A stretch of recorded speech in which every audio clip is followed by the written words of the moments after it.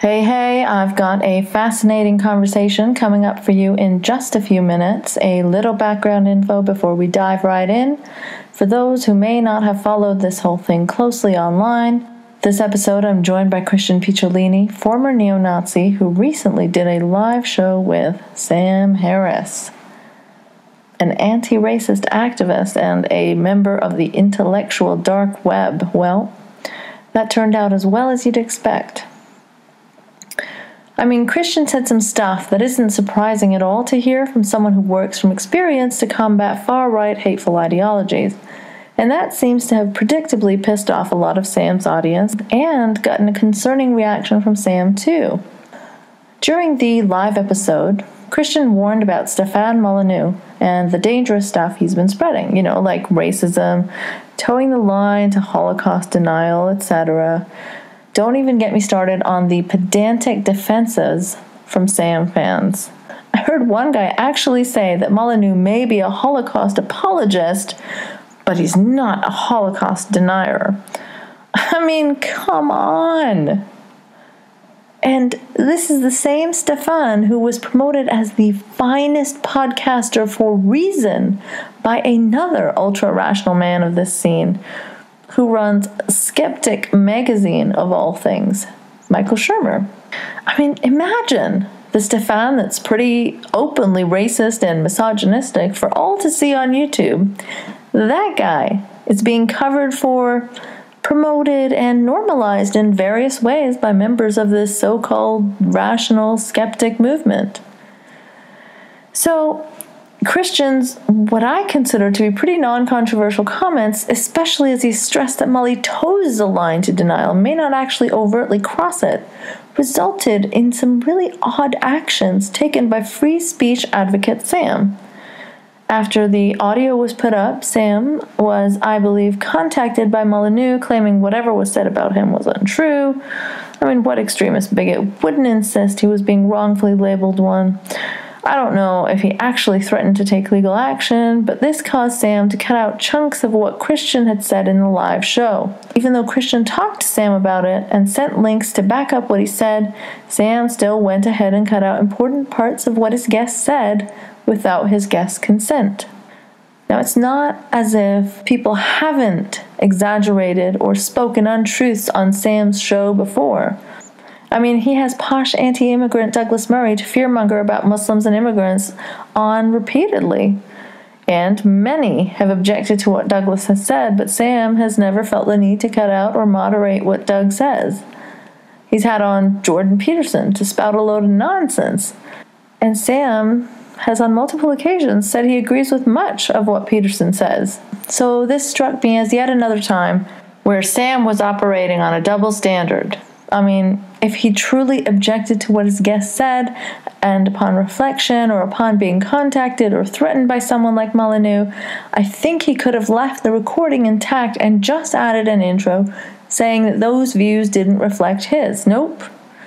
But instead, he had to scrub bits entirely, including some of the things he himself said about Molyneux in that recording.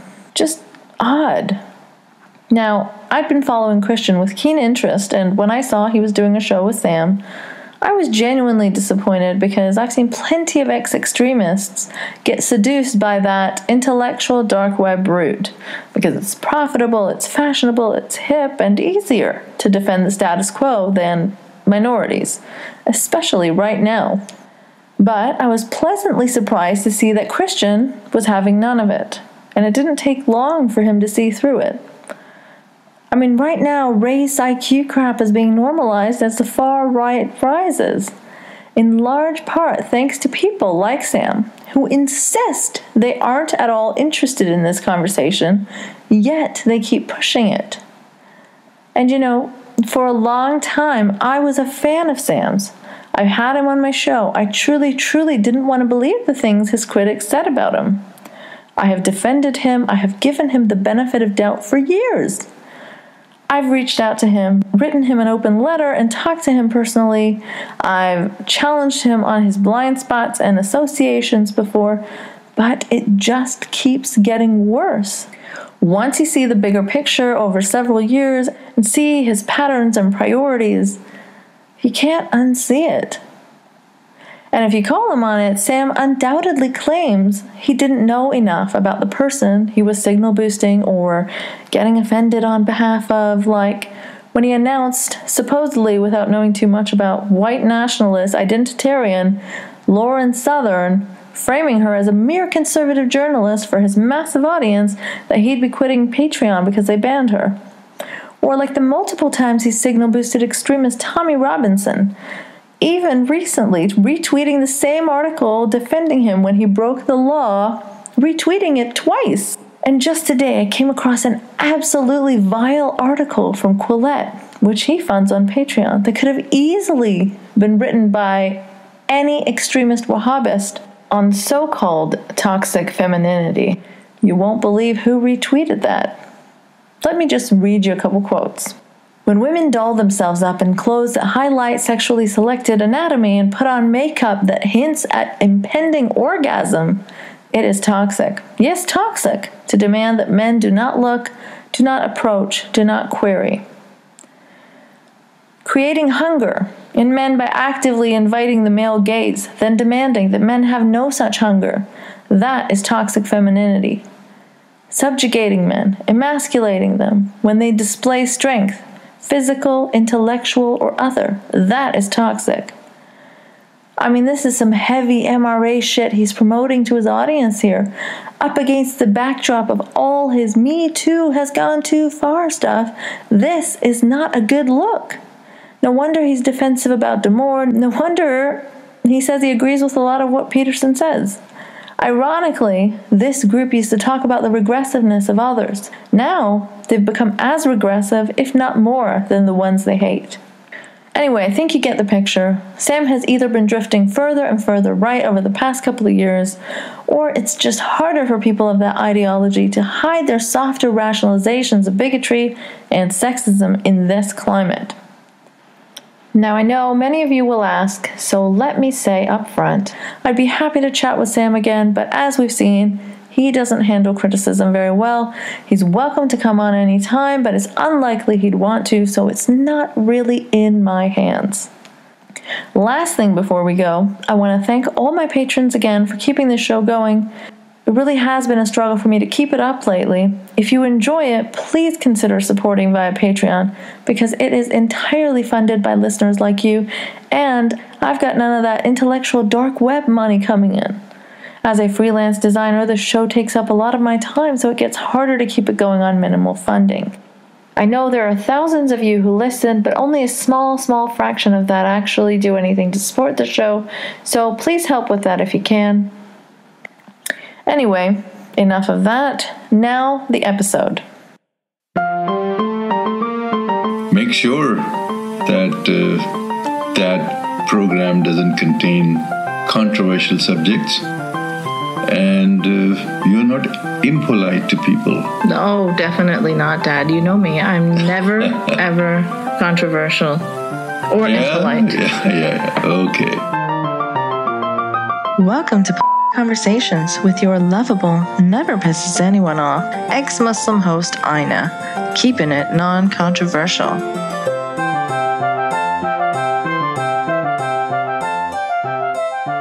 Hello, everyone, and welcome to episode 48 with ex skinhead, former neo Nazi Christian Picciolini, founder of Life After Hate, an organization that helps people leave hate groups. Hi, Christian. Hi, Ina. Thanks for having me. Thanks so much for coming on. I know we had a bit of an issue scheduling and rescheduling, but I'm glad we made this happen. Likewise, thanks. Yeah. So, you know, I've been following you uh, for quite a while, I have to say, and it's been very interesting watching your interviews. And uh, I, I have to admit, though, when I saw that you were doing an event with Sam Harris, my heart kind of went, oh, like, you know, like, because I've seen other ex extremists go in that direction. It doesn't it doesn't help to be honest and it's it's hard to describe. That whole intellectual dark web circle is like um, rationalization of a lot of strange right wing, sometimes far right, alt lightish talking points So, I mean, I've seen a lot of ex Muslim, ex extremists go down that route, and it's just like trading one form of extremism for another. Sure. Yeah, I got to be honest with you, and you know, uh, when I was asked to do the Sam Harris show, uh, I had in all honesty, had never heard of the show. I'd never heard of Sam, and I recognize he was quite popular, but uh, I just had never heard of it. So, you know, maybe it was uh, a lack of research on my part, but I, I, actually am really glad that I went on the show because I think live, um, you know, I was different than most of the folks that that you know now that I've gone back and heard on the podcast. Um, oh yeah, you know, oh yeah. I was pretty. I, I was very honest about uh, you know certain aspects of, of, the far right movement, and uh, you know, frankly, I was censored for it, and uh, you know, because of association with Sam.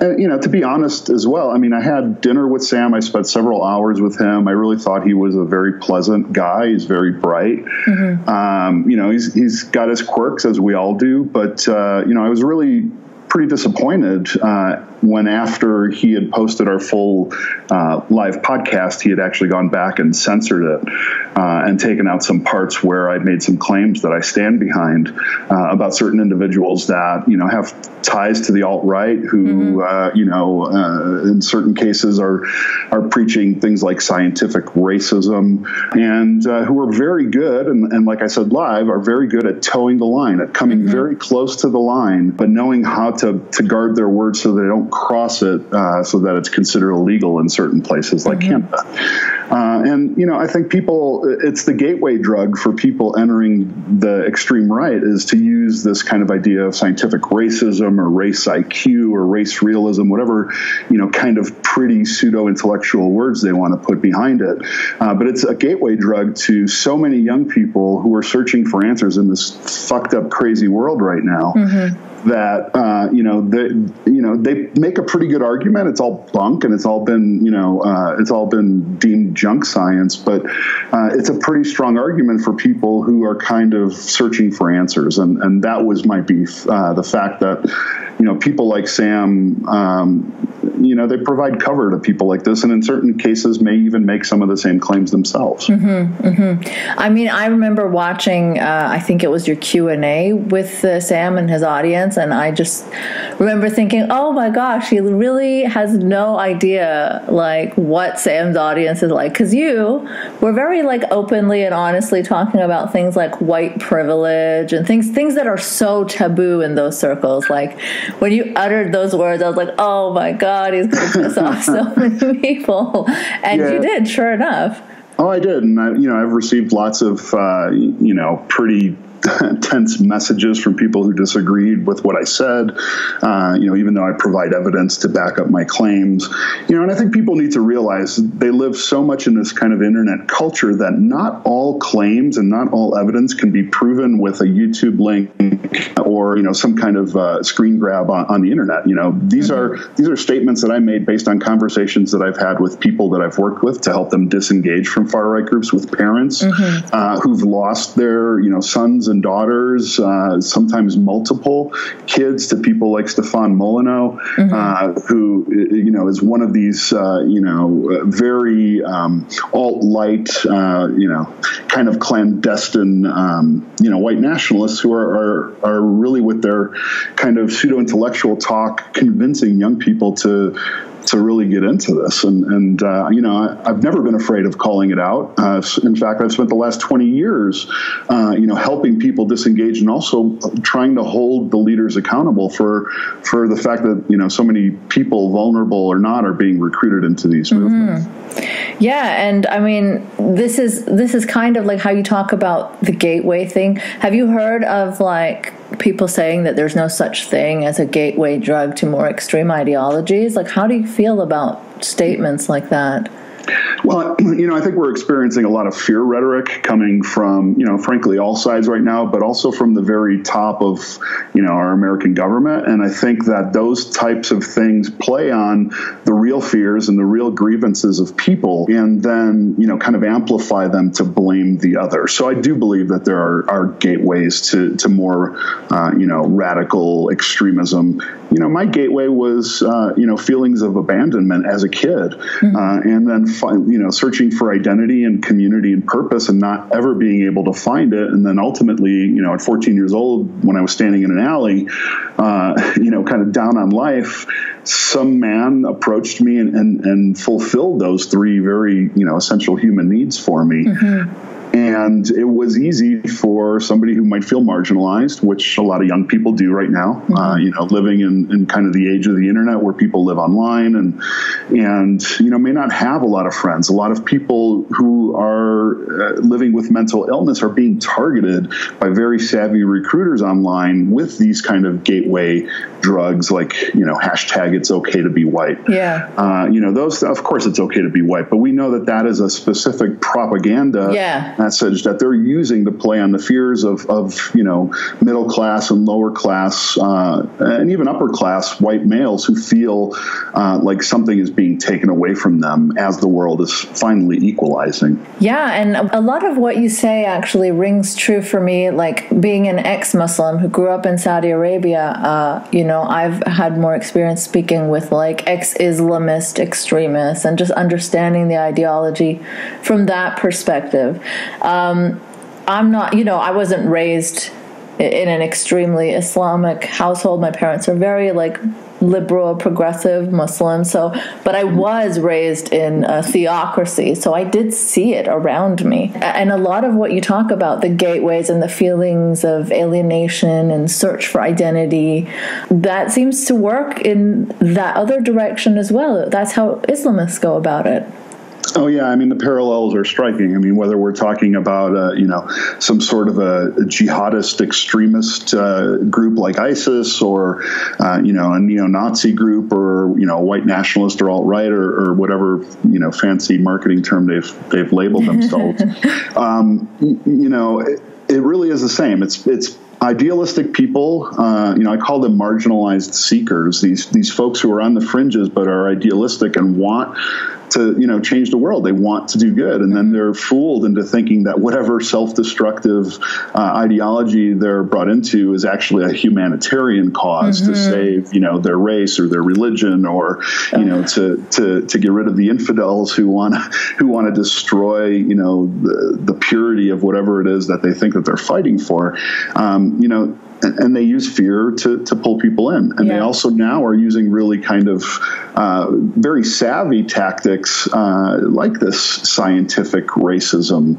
Uh, and um, yeah, you know, there are a lot of there's a lot of uncertainty in the world right now, and and frankly, if adults uh, and and our leaders are pretty uncertain, uh, I can tell you that the average person and certainly the vulnerable young person, uh, you know, is is uncertain right now, and they're searching for answers and and, and the voices that are the loudest right now seem to be the extremes. Yeah, they're the ones getting the most attention. Yeah, and that's really frightening and depressing and also just their rebranding of you know extreme conservatism is so concerning to me like how they water it down and you know call it the alt right or the alt light and uh, as i've heard you say they trade their boots for suits and right. get fashy haircuts. And you know they're not as obvious with the tattoos and nazi flags anymore even though they have their own new symbols and like you know ironic nazi flags well, we, you know, 30 years ago, we, we kind of had this idea that, you know, as neo Nazi skinheads with shaved heads and swastika tattoos, we were probably turning away the average American white racist that we wanted to recruit, mm-hmm. frankly. Mm-hmm. So we said, you know, we need to look like them, we need to sound like them. So we started to encourage people to, you know, shed the edginess and, and adopt a more normalized look and even a more normalized language. You know, you can't go, uh, you know, saying you want to throw the Jews in the oven and convince a proud American, you know, World War II veteran uh, that he should join your side. So you start to talk about immigration. You start to mm-hmm. talk about, um, you know, the fact that blacks commit crimes, and, and you, you know, you you fudge the statistics to make it seem, uh, you know, more. And then you also play on feelings of pride. I mean, another gateway drug is, you know, like I mentioned earlier, the "it's okay to be white." You know, 30 years ago we did the same thing. We didn't call ourselves a white power group group on the outside. We called ourselves a white pride group uh, that mm-hmm. you know was mm-hmm. doing what we did not because we hated anybody, but because we wanted to protect what we believed mm-hmm. in, uh, and that was the outward mar- marketing message. You know, behind closed doors, it was all you know Nazi flags, Hitler salutes, and you know n words, and and you know uh, talking about doing whatever. Um, so you know they're smart. They know what they're doing. They they operate like a business, uh, and you know they know they need a marketing message that attracts the most people, and it needs to be palatable. Yeah. Uh, but their core, you know, mission statement, uh, you know, is still those those nasty fourteen words that the Nazis mm-hmm. like to use. Uh, we must secure the existence of our people and a future for white children. Which they had on a like a they had a fourteen word uh, title on a what was it on a government website like that started so, yeah. with we must yeah, secure I don't want to start a conspiracy theory. No, yeah. but you know, the DHS, the Department of Homeland Security website, which is still up, I think as of today, it was yesterday anyway, has uh, you know a news story that was published in I think February of this year that very eerily kind of mimics those 14 words. The headline on the page is "We must secure," and, and I'm paraphrasing, "We must secure our borders and protect our country from you know something." Yeah. But it was 14 words, and you know it, it was pretty pretty, you know, very eerily similar to the yeah. Nazi 14 words, you know, that David Lane came up with, and and uh, you know, the most uh, white nationalist Nazis and everybody kind of uses as their mantra. Yeah. Um, but you know, uh, there was also a report today too that you know somebody from uh, a defense contractor, Northrop uh, Grumman, uh, you know, an employee there who has top secret security clearance, uh, was found to be at the Charlottesville rally, another white nationalist rally. So oh you know, the, the, fact that we may have trolls or people, you know, kind of in uh, these places that 30 years ago we wanted them to be, yeah, is really no surprise. Yeah, and like someone who's calling them fine people, like running the country, right? Yeah, you know, uh, very fine people on both sides, and you know, first, it's interesting. I know because at first I really, really had a problem with that statement, as I think most people do. Uh-huh. Uh, you know, you know, to equate, you know, protesters uh, against, you know, to Nazis is, is obviously not in, on the same uh, playing field. However, then I thought about it and I thought, well, you know what? I have to believe that there are very fine people on both sides. Oh, Some, no. Otherwise, I would be de- denying myself, you know, the fact that I was able to transform, and I would be de- denying the fact that I've actually helped people disengage well, from no, because since they've been to Charlottesville. But so, they're not fine in the current state they're in. They no, just have the right. potential to be fine. Yes, uh, there is something inside of them that has. Sure. yeah, I mean, I can agree with that. That like nobody is, you know, beyond reaching and beyond helping, but in their current state, marching with the tiki torches, I I would disagree that they are fine. Yeah, I'm, I'm, not defending Trump's uh, statement. I think his statement was, you know, was considering other factors, and I think he meant it differently than than the way I'm I'm putting it forth yeah. right now. uh, I mean, it's uh, it's really disappointing. It's disconcerting and frankly, it's a little bit terrifying to to think that you know, we have an administration that is very in line with, you know, white nationalist ideals, that we have policies in place that, you know, are ripping, uh, you know, minority families from each other, you know, which is something that mimics exactly what we wanted to do 30 years ago. Mm-hmm. Uh, it's really disturbing that, you know, uh, LGBTQ rights are being uh, stripped away, that women's rights are, are being stripped away. Uh, you know, uh, who knows what's going to happen if, if Roe versus Wade gets overturned? I mean, that yeah. that is that's such a that's such an important factor, you know, in our country for for half of our population. Yeah, uh, you know, all these things that we're seeing. You know, while I can't tell you that I've ever seen Trump or Stephen Miller or Steve Bannon or, or Gorka at a you know a Klan rally or anything like that, I can tell you that a hell of a lot of the things that they're putting forth, in fact, most of them, uh, if not all, are really in line with the same you know national socialist, white nationalist ideals that uh, that I had 30 years ago. Mm-hmm. You know, so when I left Saudi Arabia, I left religion. I, you know, I got involved in the atheist scene, the movement, atheism online especially, and then slowly, slowly, I started to realize that uh, uh, there's a lot of troubling talking points going on there under the guise of just you know simply criticizing religion. You know, it turns to discussions about immigration, and then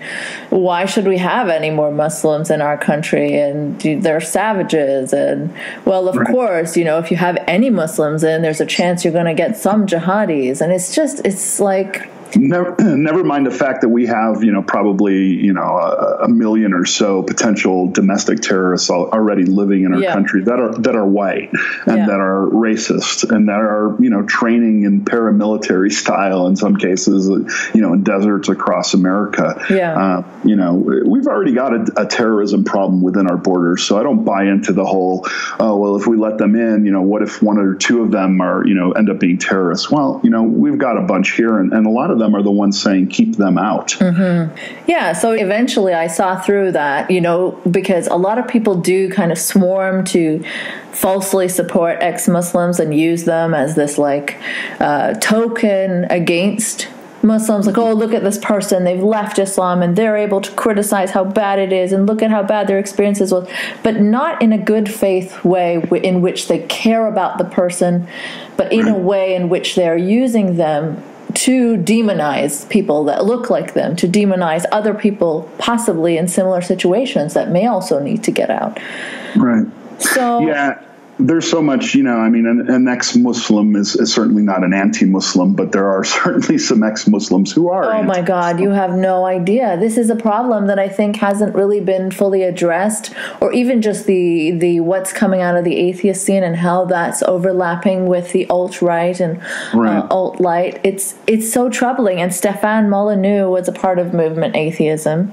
Right. Um, there's a couple other troubling people. Dave Rubin, who basically uses his platform to legitimize people like Lauren Southern and Cernovich, and right. um, it's endless. And you know, Sam Harris funds people like Dave Rubin, and he doesn't like to get questioned about his association or support for Dave Rubin.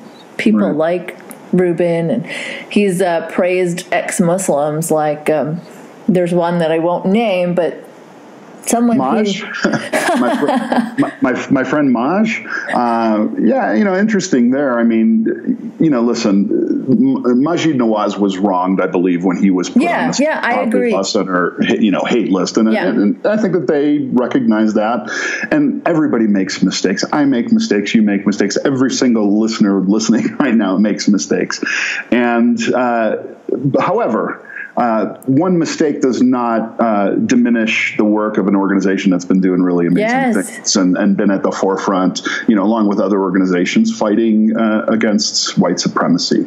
So, uh, you know, I'm glad that that case is done. Um, but you know, here, here's my issue with with uh, Maj is, you know, I, I think don't he's think he's guy. officially an ex-Muslim, by the way. But yeah, I, yeah, you know, I don't I don't know what he is to be quite honest, because I think you're right. You know, some people do have have the, you know, the tendency to go from one extreme to another. Mm-hmm. Um, and you know, I, I know him. I've met him. I've spoken with him. Uh, you know, we've known each other probably for seven or eight years. We oh. met in 2011, and uh, you know, his story is really similar to my story. Yeah. Uh, however, um, you know, he's made it a point to kind of be this ideologue to really, you know, kind of hate again. And I want to make sure that, you know, we're clear. Hate is hate. Mm-hmm. Prejudice is prejudice. Uh, intolerance is intolerance. It doesn't matter where it comes from. Now, white supremacy exists and, and they're at the top of the you know of the pyramid when it comes to you know global control and always have been uh, but that doesn't mean that hate can't come from other places oh, and yeah. I, I, really find it sad uh, you know when people who have such an important story to tell and who can learn from their experiences and teach other people from their experiences actually choose to you know kind of dig their their feet in and and and, and kind of just not be moved again knowing that you know they did that once and they were wrong once. You know, we need to be open to be flexible about our ideas and to grow and uh, and not be so cemented in, in one place uh, and create so many enemies. I mean, he's he's got an important story to tell, and I wish he would just focus on that rather. Well, rather. when he started off a few years like in the earlier days, he was saying a lot of good stuff, and I think people were unfairly judging him. I used to Absolutely. be a big supporter and fan of his, but now, in the past, I don't know, two to three years, especially this past year, he's been worryingly, I don't know,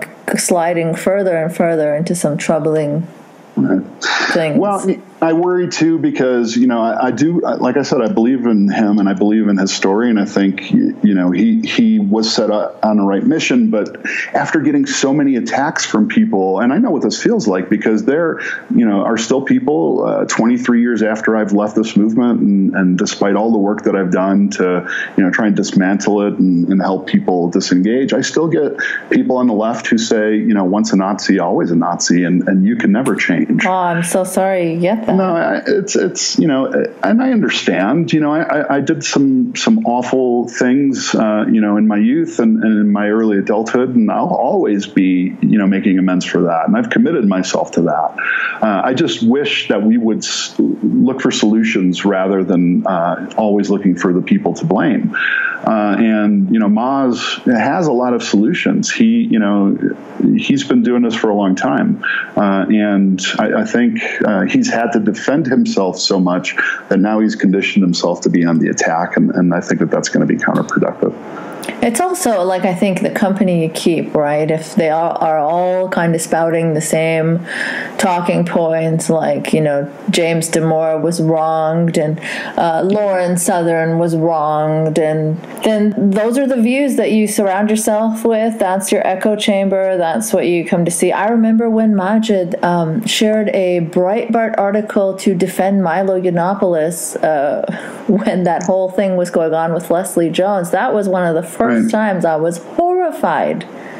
Yeah.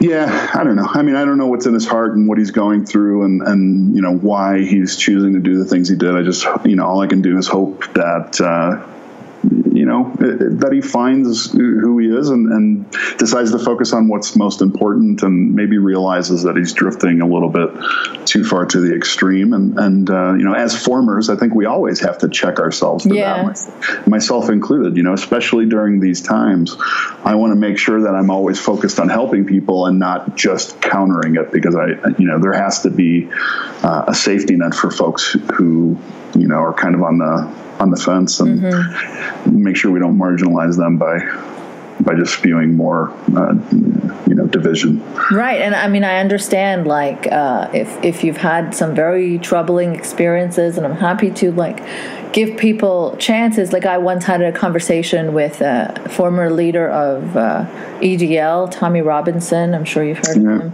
Sure. And you know that's when he was saying that he was de-radicalizing and he was working with Maajid Nawaz and Quilliam, and it seemed like he wanted to change for the better. So you know, I thought I'd you know extend a hand and just encourage him to come on over and let that stuff go. And I even talked to him like in a very friendly manner, saying that, you know, sometimes the words you choose are very divisive. And he was very good at moderating what he needed to say for the audience at that time. Um, but then I quickly realized that he, he just changes what he's saying, like according right. to who he's talking to. He doesn't really mean any of it. Right. And he's since been radicalized further, you know, like he's talked about white genocide theories and uh, yeah. retweeted white rights accounts and just talked about I don't know, people that are not white, not belonging in London or something, has a problem with the mayor, and right. So many awful things. Well, it, it's those gateways, you know, and, and I think somebody like that who's, you know, driven by ego and control and, and attention, you know, will, you know, always go to where, uh, you know, kind of the hype is. So it doesn't surprise me that Tommy Robinson is going more to, you know, the extreme right as Europe is going more to the extreme right and as more people are talking about it. Yeah. You know, I'd be really interested in sitting down with him or having a conversation with him because I, you know, just knowing him from afar and and what he's been doing, you know, is really no different than like somebody like a Richard Spencer has gone, you know, or you know that direction. And and you know, I've had, you know, I believe I've made some some headway, you know, with folks like that just by listening, just by you know filtering out the noise of what they say and and you know hearing what it is that's really broken about them. Yeah. Uh, and, and, then finding like what kind of things are you talking about You know, it, trauma is always an underlying factor for anybody who kind of goes to the extremes on anything. Mm-hmm, you know, whether mm-hmm. we're talking about joining a gang or joining, uh, you know, a neo-Nazi group or you know, flying to Syria to to you know join ISIS. Uh, there's always some underlying trauma, and it can be abandonment, but it can be sexual abuse. It can mm-hmm. be an identity crisis. It yeah. can be you know some form of a mental illness or a developmental disorder. It, it can be you know having uh, seeing your father commit suicide for it. You know whatever it is, I call them potholes. Whatever those mm-hmm. potholes are in your life's journey that you've hit, and don't have the support that you need to kind of uh, you know navigate around them or resolve those traumas uh, they fester, and sometimes you get pretty detoured by those potholes. And yeah. there's always somebody there with an extreme message willing to take you in yeah. uh, when you can't find comfort somewhere else. Yeah. And you know, I, have spoken to Richard Spencer. I've I've spent two hours with him in person in, in Montana, and you know, I, have filtered out the noise of you know all the stuff that, frankly, I used to say when I was 14 years old that now sounds really just ridiculous coming out of an adult's mouth. Uh, I can filter that stuff out because I used to say it, and I and I'm able to tune in, and, and maybe it's my superpower, but I can kind of hear the very silent uh, voids that are in their life. Uh, yeah. You know, Have you, you know. learned something about Richard Spencer? Like, oh, I've learned a lot about him. Yeah, that I've learned was, a lot about. Him. I don't know. Went through something awful that turned him this way. Sure, I did, but you know, again, that's something that I have to be able to keep personal, of course, private. Yeah, yeah. Um, otherwise, you know, if I alienate people like that, you know, how can people trust me? You know, building rapport and trust yeah. with with folks who are naturally paranoid and who consider you a traitor is, is the hardest thing. And if yeah. I can maintain that, then the rest is pretty easy. Yeah. To be quite honest, I've worked with several of the the leaders, and you know, uh, that you would know that, uh, you know, most people I think when they heard their names would know, and and you know, they're they're not monsters; they're broken children. Mm-hmm. Um, and you know they may do monstrous things, and they certainly need to be held accountable for that. And, and I'm glad you say that. Yeah, I mean, I always uh, I held myself accountable. I'm certainly going to hold other people accountable um, because there's no wiping away the slate unless uh, you're willing to do the hard work. Yeah, and I'm willing to do that hard work with people if they're committed to, to you know making amends and, and yeah. really making a change. And I think it's great. Like what you're doing is is amazing. I think uh, and I think there are certain people that are definitely able to do that kind of thing. But I think it becomes unfair when the expectation is from everyone to like I don't know, go and hug a Nazi. Maybe they yeah. don't want to, you know? Yeah. Like maybe you don't want to hug someone that wants you eradicated or forcefully yeah. sterilized. So totally I find totally understandable. I find those stances to be a little bit tone deaf, but I do understand that if you put the work in, it's very possible to bring someone out of hate like that. Yeah. Well, it's true. I mean, I, and I certainly would never advise somebody who is a potential victim to, you know, uh, to hug a Nazi. You know, I mean, uh, safety is, is an issue. Of course, mm-hmm. you're dealing with people who are, uh, you know, paranoid, who are angry, who you know are talking about being violent and have proven that they can be violent. Mm-hmm. So, you know, it's certainly not that. But when, when I advise people to be, you know, empathetic and compassionate, I think we really should all do that to everybody all the time because frankly, these days we don't know who the Nazis are. We don't know who the white extremists are mm-hmm. because they look like uh, you know the rest of us. Mm-hmm. So if we're if we can just you know put it in our minds that we need to give compassion to the people that we think you know need it the least. Uh, the chances are pretty good they're the ones who need it the most. But how are um, you, say, for example, supposed to give compassion to someone who's like screaming at you to get out of their country? Well, I think the first step is is not to scream back uh, because that plays right into their hands. I mean, they're trying to provoke mm-hmm. uh, most of the time and to prove that whatever you know bullshit claims that they're making about being animals or invaders mm-hmm. or subhuman or whatever it is that they're saying, uh, you know, is always proven when we adopt the tactics that they use. So you know, there are two things that extremists love: they love silence and they love violence. Mm-hmm. And if we're silent, you know, of course they grow because they can can do whatever they want. Absolutely. You know, there's there's no opposition. If we're you know quiet against this administration who's putting these racist policies in place, then uh, you know we're complicit. We have to be vocal. Uh, and if we're violent, we play right into their hands because they come, you know, they rally and they Yeah. march and they say these things because they want to provoke people. Yeah. And that's why they go to liberal areas. That's why they go to Charlottesville. That's why they went to Berkeley. That's why, uh, you know, they in the 70s and 80s marched in, in Skokie, uh, you know, a predominantly Jewish community in Illinois. Um, because when we attack them, um, it makes them the victims, and they use that. They Yeah. say, "Do you see how our free speech is being taken away? Do you see how you know our rights are, are being diminished? Do you see how you know these animals attacked us, and we you know didn't provoke it? So you know we have to be visible, we have to be vocal, we have to be vigilant, but we can't be violent. Uh, so you don't buy into the don't call them racist, don't call them Nazis, or you'll turn them more into Nazis. well, I think we have to be careful. Oh, course, don't overuse the term. Absolutely not. But Yeah. like, for example, there's been an opposite reaction in the in the atheist scene where like there was a a professor saying that guys who shot people at a white supremacist rally while sig heiling and holding a swastika flag, you cannot call them Nazis.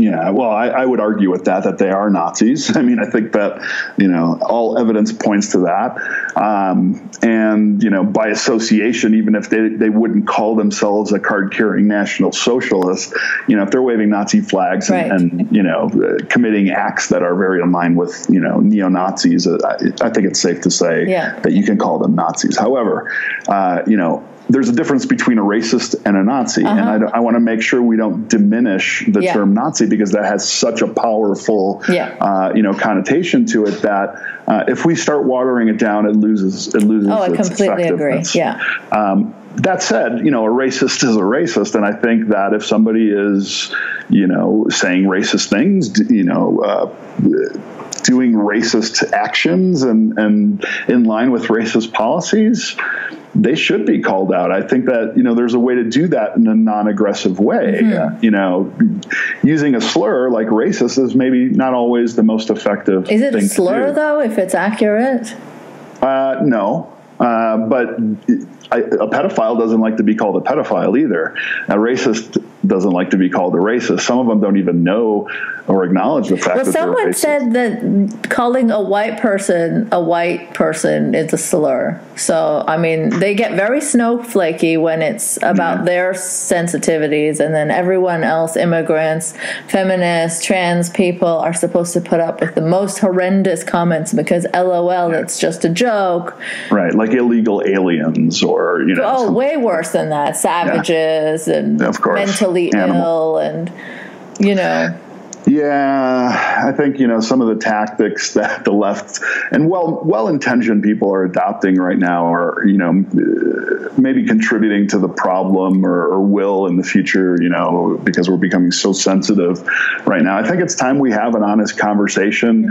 Uh, one to define what America is for us now and what we want it to be because uh, you know I don't know that we all agree on what that is anymore. Yeah, well, I'm Canadian, so. Well, as uh, you know, you are now our enemies because we alienated you guys. Uh, you may see a lot of Americans become Canadians pretty soon. But Oh um, yeah, well, that's if we don't put up a wall first. right, well, I would blame you guys if you did, and, and we would probably joking. pay for it. I'm sure. I'm. Um, you know, we're just living in interesting times where I think it's it's tough to have the the really important conversations because we are so sensitive and so raw right now. Mm-hmm. But I think white people are the ones that are the most sensitive and raw to it, and don't necessarily have the right to be. Uh, you know. We're being called out for things that we've done for centuries. Yeah. Uh, See, this is the kind of stuff you said in the Sam Harris Q and A that made me worry for how much hate you were going to get.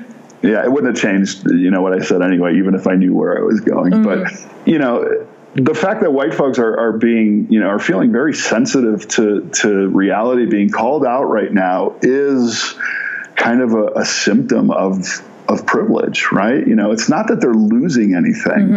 Um, and it's not that they're, you know, they're racist, uh, most people. Yeah. It's just that they're being kind of lumped into now what's what's this new you know category of of, of uh, you know subhuman. you know, white folks have never and I and I saw an amazing uh, stand up documentary uh, uh, by a, a comedian uh, whose name is Hannah, and the special is called Nanette.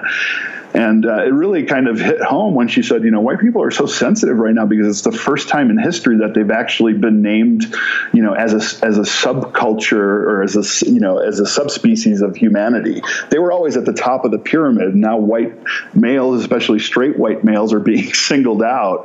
Uh, Oh, just so like- that's what you mean. Okay, because I'm like, Just who's like naming Africa- them like subhumans? no, no, no, no, not subhuman, but part of this, you know, of subhumanity of this structure. African Americans have always been kind of singled out, or Latinos, or Jews, Yeah. or Muslims. Now, you know, white single white males have their own category. Yeah. Uh, and uh, it's uncomfortable for them to have this conversation because it's the first time that they've actually been uh, held to, you know, account for for you know some of the things we've done in our history. That's not to diminish, you know, some of the, the positive things we've done, but you know, it, we have to hold ourselves accountable for the fact that you know, we've uh, suppressed women's rights to make an equal salary, to be able to vote until recently. uh, You know, uh, blacks to to be free. I mean, white white males have have really uh, caused some of the most of the major problems in the history of the world. And and You know, if I said something like that, I'd get the inevitable. But what about Islam? Right? Like that's what I get, no matter what. Ev- every group, every community has its problems, and that goes for every religion and every extremist group and every, uh, you know, even uh, you know, atheist group. Every Yeah. every community um, has to struggle with growth. Uh, and religious communities, frankly, have not had that flexibility uh, over the centuries. They've, you know, tried to maintain as traditional as possible, and sometimes, you know, as the world grows around them, their views become more intolerant. So I think it's, you know, it's time for faith leaders. It's time for everybody to really reassess and self-reflect. Do our values fit in with, you know, the values of the world today? Mm-hmm, mm-hmm. And if they don't, I think it's time that we need to adjust. Mm-hmm. Absolutely, I'm on board with that. But I mean, I th- as you said, the atheist movement has to reflect on that too, right? It's it's Sure. been kind of like a a doubly disappointing thing to leave a religion and then find a community online where I find, oh my gosh, there's other people like me, and then find that these people are a lot of them especially the prominent ones, are kind of going towards the uh, misogyny, which I perceived in religion, the, I don't know, like the trans hate and other anti left talking points that kind of lead in that same direction. And it's very sad to see so many ex Muslims embrace Jordan Peterson, for example, Right. because he, to me, he sounds like a Salafist mullah, exactly. You know, with his, I don't know if men and women can work together. Women wearing lipstick and not wanting to be harassed at work are hypocrites. I mean, this is stuff that you would hear on an Islamic Salafist TV show. Right. So to see so many atheists like rallying behind this guy just because he hates the left is absurd. And now I see Islamists picking up on his talking points and Islamists sort of crossing over with MRAs too. Even though they have like a lot of white nationalist uh, Muslim hate as well, the the Islamists who love the MRA talking points are willing to overlook that just so that they can sort of cite them as these uh, more polished Western people who are also saying that marital rape isn't a thing. You know what I'm saying? Well, I'm glad you brought out, uh, you know, the men's rights groups because I think that there's so much crossover, and that's also, you know, a gateway uh, drug into extremism uh, of all forms. Um, Yeah. You know, because and what you said about the atheist community, and I, you know, I, I'm not. I'm not a member of that community. I don't, you know, I can't say with experience that I've seen it, but I trust your opinion of it. Anytime you create kind of this exclusive community, um, there's always this kind of drive, this natural drive to become uh, isolated. And when you become isolated, that that kind of pits you against the other. So, you know, while atheism was a place where people who didn't want to subscribe to religion could enjoy a community, now it's become kind of a religion unto its own that's intolerant of other religions and that's you know not what I think you know true athe- atheism is. And well, I mean, me if I'm wrong. People are going to say there's no such thing as true atheism. It's just a lack of belief in God, which is fine. But this has developed. The online movement has developed with its own distinct culture, its own ideology, its own tribalism, right. its exactly. own talking points. It's like they have a script, you know. And of course, these podcasters on the top are like gospel. Right. You cannot challenge or criticize. Um, you cannot blaspheme against Sam Harris even mildly. So, oh, I, trust me, I can relate to that because I've seen you know kind of the brunt of of what happens when you do criticize, and and you know, I think again to go back to this whole idea of the search for identity, community, and purpose. You know, people who are fanatics about anything mm-hmm. have, have kind of you know thrown all their chips into the pile for their identity community and purpose into that one idea and that makes them you know kind of inherently intolerant of any other ideas because if you are against their ideas you are against them as a as a being as uh, you know a, a tribe and, and as a, a mission and that's not the case, right? You can criticize things without being, you know, against it. You can mm-hmm. you can be you can uh, speak against certain fundamentalist aspects of yeah. religion and Christianity and Islam without being, you know, an anti-Christian or an anti-Muslim. Absolutely, which is I, I think where we should all be trying to go as right. atheists and humanists. And this also rings true for the part where you said that people who go into extremes, they're they're kind of conned into believing that they're doing good for their cause. And among so many atheists, I see like humanist on their bio, and it's like they don't know what that means because right. their entire Twitter timeline is like nothing but hate against right. people of color, talking about black on black crime, talking about immigration being bad. And it's like, I don't understand that kind of humanism. No, it's not humanism. Yeah. And, and, you know, I mean, just like Sam Harris's bubble and just like Jordan Peterson's bubble, and, and sometimes they cross over, and just yeah. like the atheist bubble or the white nationalist, you know, it becomes a safe place for people to kind of gravitate towards those extremes. So it doesn't surprise me that you see a lot of crossover between atheism and, and you know, men's rights or men's rights and white nationalism or, uh, you know, the incel, the involuntary mm-hmm. celibate, uh, you know, movement and, and men's rights. Uh, so you know, people who are, are, are who need that stamp of approval from an exclusive group tend to be searching because there are voids in their life and those voids in their life shut them off to other people because they've been conditioned they've conditioned themselves frankly to do that uh, so you know I think we need to be careful about how we, you know, where we embed ourselves, uh, and, and to make sure that we're not fully going from one bubble of intolerance into another mm-hmm. bubble of intolerance with, you know, a good intention of of trying to do the right thing. You know, there are a lot of people who, you know, were on the far left who are now on the far right. There are a lot of people who were on the far right who are now on the far left. And the reality is, we really kind of need to live in the middle and be, you know, mobile uh, to to whatever is important to us and to uphold whatever whatever values we have and, and, and not do that to diminish other people. Yeah. Yeah. And I think uh, a lot of that is just trying to gain an understanding of the bigger picture, right? So, what you may pick up on because you're so well versed in white nationalist, white supremacist dog whistles, you may pick up on the slightest talking point, whereas other people will see it as fairly benign and not understand why you're sounding the alarm for something like hashtag it's okay to be white. But right. you know where that's going and where yeah. that's coming from. Similarly, that's how I feel like. Um, the atheist scene and Sam Harris's audience did not pick up on the things that you probably picked up on. They yeah. literally just didn't understand because I see even Sam, he will not notice racism or be bothered by racism um, unless it's like the most overt kind, racism or bigotry, right? right? And that's a very common thing in the rational skeptic community. Is like it has to be very, very obvious, and it's like there a lot of them are waiting for racists to self-identify as racist. Otherwise, you can't call them racist right. or identify them as racist, and and the, those standards would not apply to Islamists at all. So it's that right. double standard as well it's very frustrating. Like, I don't know if you've kind of noticed a pattern, like Sam recently compared Salon and Vox journalists to having the moral and intellectual integrity of uh, the guy in the hood, hmm. you know? Yeah.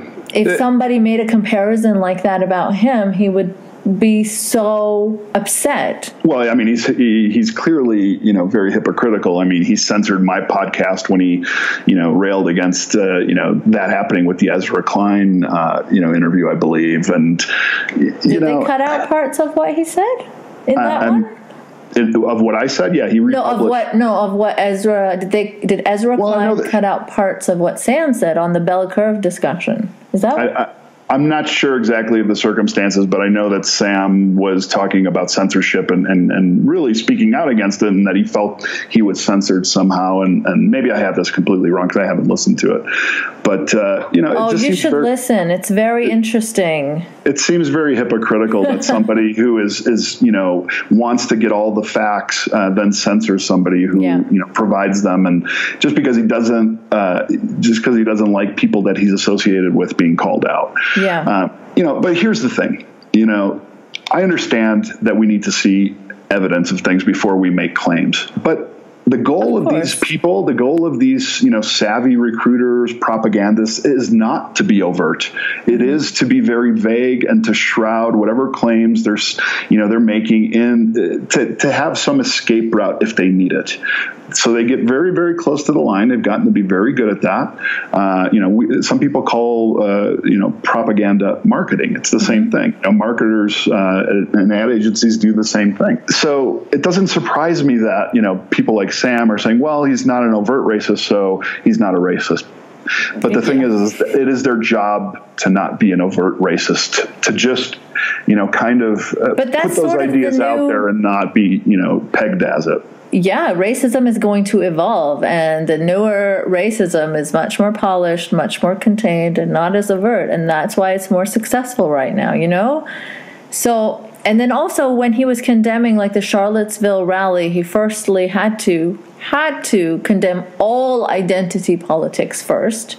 Yeah. And then say that white identity politics is the most detestable of all or something like that. Right. So, it just it just boggles my mind. Like, why in that situation do you have to condemn all identity politics? Because if you listen to him, that involves things like BLM and, you sure. know, other minorities fighting for rights. That's not comparable to what happened at Charlottesville identity politics, you know, for minorities asking for rights and, and fighting for rights is not the same as white supremacist, yeah. you know, politics, which, you know, they would consider identity politics and not give it that name. Right. If uh, you're discriminated a, a, against based on your identity, you're going to have to like exactly. fight for your identity. And they don't have a problem with like ex Muslim identity politics because that's very convenient to use against Islam. Right. So well, a lot of hypocrisy. There is, uh, you know, and I'm glad that there are people that are willing to talk frankly about it, and I'm glad that we had this conversation. Well, I'm going to get a lot of hate for it. Uh, you know, and, and, I will too. But you know what? Frankly, that means we're doing our job. We're we're touching the right nerves, and and I wouldn't speak dishonestly even if I had to. Yeah. Uh, if given the chance. So, you know, it is what it is. Unfortunately, people like me uh, have had experience in these movements. We know how to spot these things, mm-hmm. and and for those that are committed to to not letting it happen to another generation of vulnerable young people, uh, you know, it's our responsibility to call it how we see it. And yeah. sometimes it's it, it's not going to make people happy, and sometimes it's going to you know ruffle some feathers of people who don't see it the exact same way. But you know, I think in time, um, you know, I'm on the right side of history, you're on the right side of history, and they'll hopefully come to realize their mistakes. Let's hope so. I mean, I just did some basic research on the Molyneux thing, and I, I mean, I've seen plenty of him being racist, anyways. But there was a video that he did call about predatory immigrants, first of all, where he starts talking about how the Germans were in danger of being taken over by what they perceived to be Jewish led communism. And Right. Jewish led communism had wiped out tens of millions of white Christians in Russia, and they were just afraid of the same thing happening to them. So he just framed it as, as like uh, a, a wild overreaction. Like that's You could pull that straight from the pages of Mein Kampf. I mean, right. is, that is that is about calling, uh, you know, uh, basically calling people parasites who who you know have come to invade a country, steal its resources, capitalize on Yeah. citizens while oppressing them, and we need to you know cut this cancer out. Yeah. It's the same thing. I mean, it's uh, he's putting words that are more palatable behind it, and and And uh, as you said, he you also I mean you said he toes the line, right? So I just I don't understand why it was so controversial. And if he wanted to cover his bases, Sam could have just put in like a note, uh, like a little audio clip in the beginning that these views don't reflect mine, and Right. that's that, right? Well, because because after I provided the evidence uh, to Sam or to uh, to Sam about Molyneux's uh, you know toeing the line, which is exactly what I said in the podcast. I never said he was a Holocaust denier. I said he's a Holocaust denier, or he's very very close to toeing the line to it because he knows how how not to step over it.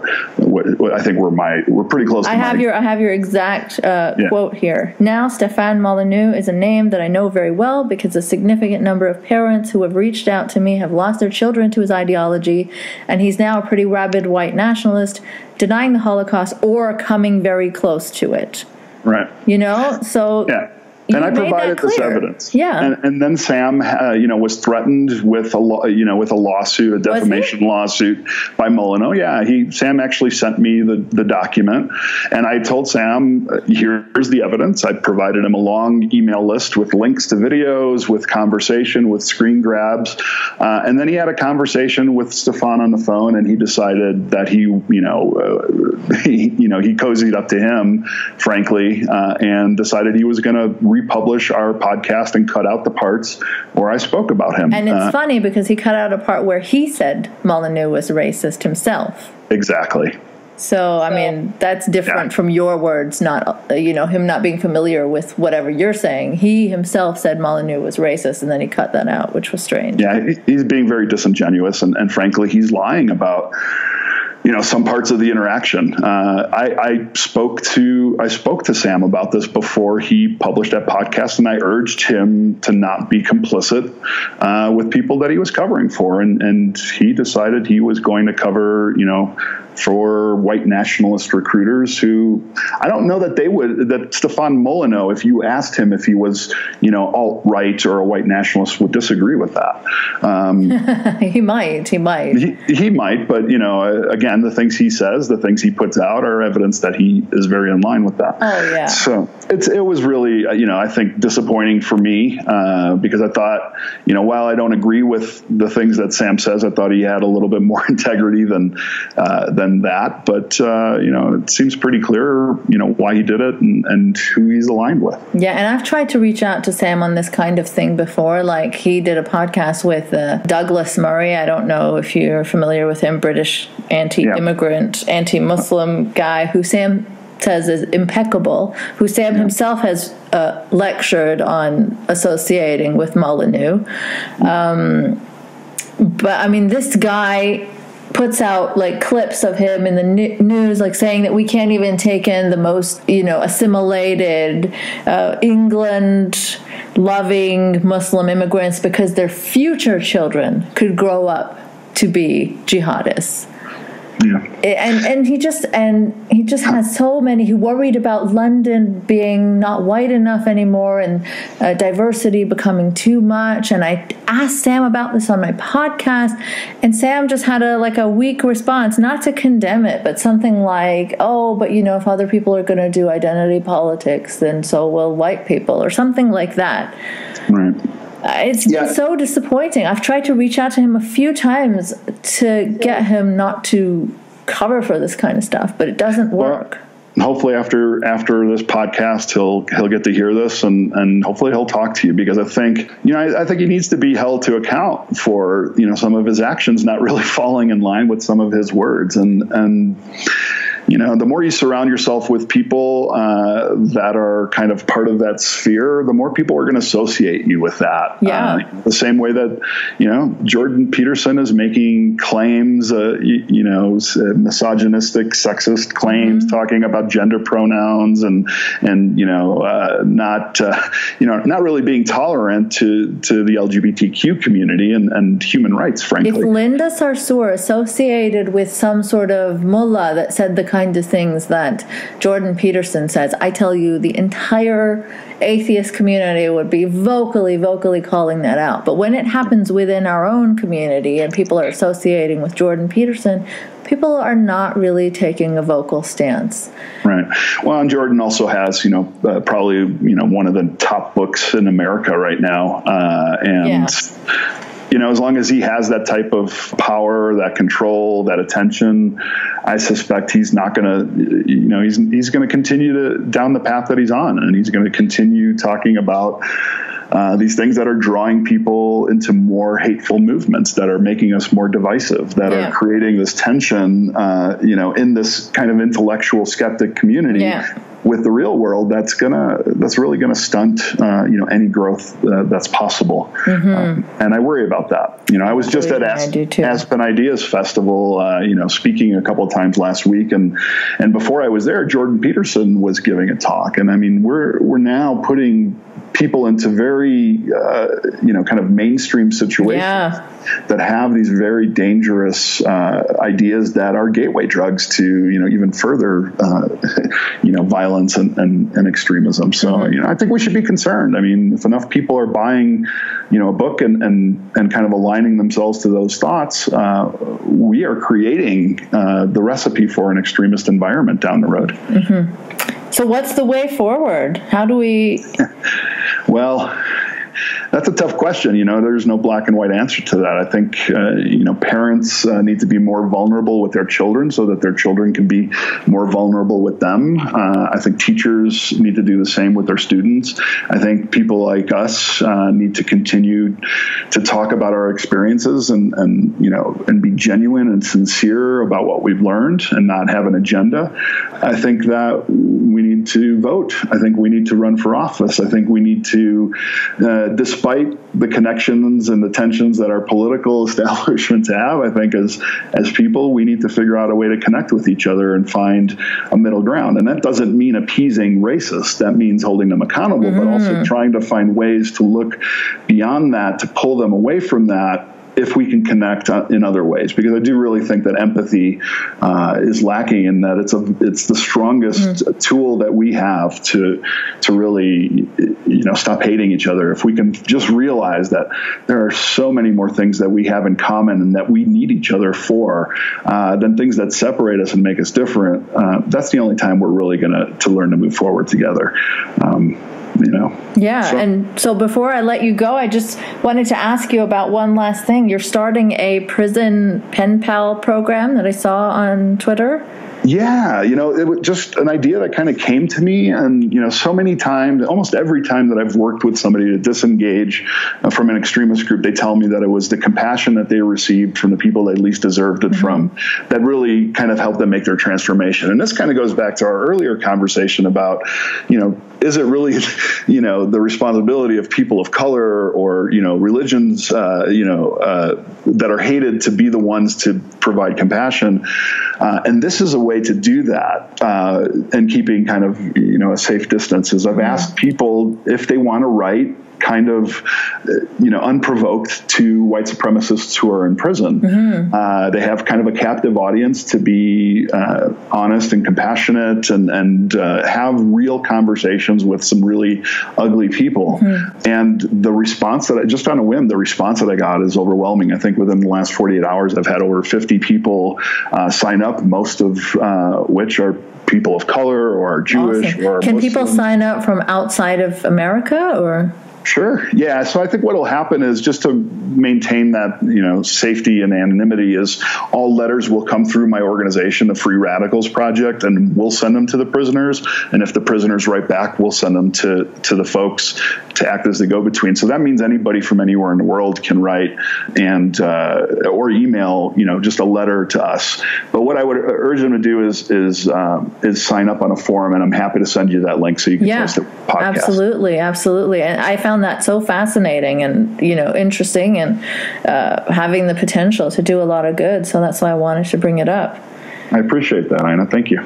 Yeah, thank you so much again for coming on and chatting with me. Um, it was an absolute pleasure to talk to you, and hopefully, we'll talk again. Likewise. Thank you so much, and, and keep fighting the good fight. Yeah, you too. Thanks. Bye. Bye. Thanks for listening to another episode of Polite Conversations.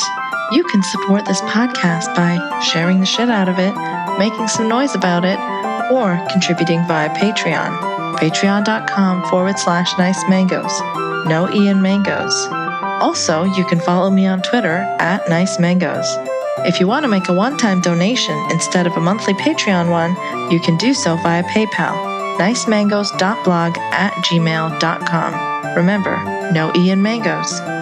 If you've got an interesting story and would potentially like to be a guest, you can email me there too. A special thanks to Dylan Beck for theme music, sound, and production help.